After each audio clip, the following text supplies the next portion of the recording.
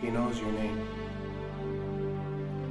See, right now you're probably confused and don't know what to do with yourself. He saw you crying. He was there when you lost your job. He was there when your family was falling apart.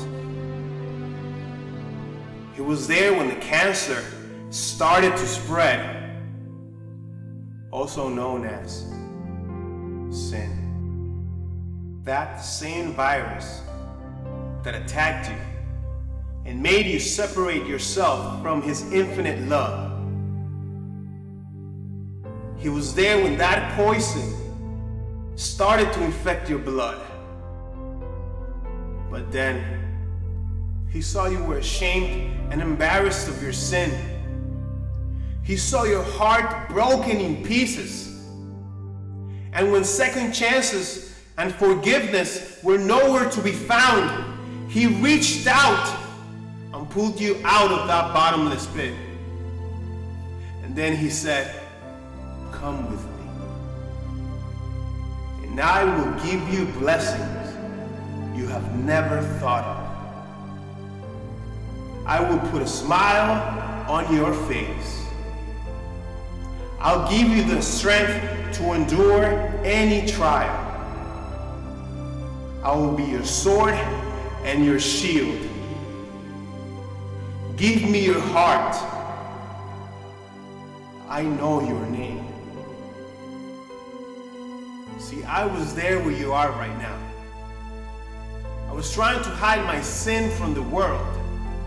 But I forgot that God was still watching. And He was waiting for me to run towards Him. To run towards Him for guidance. To run towards Him for love. I mean, what kind of God waits for me? What kind of God wants me?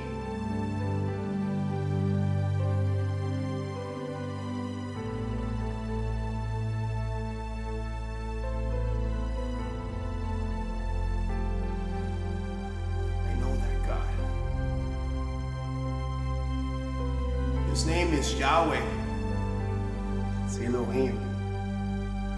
Adonai. Lord of Lords. The King of Kings.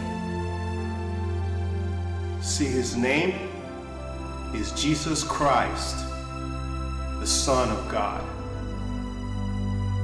See, the Bible says in Psalms 46, verse 10, Be still and know that I am God. See, I learned his name. Do you know him? He knows your name.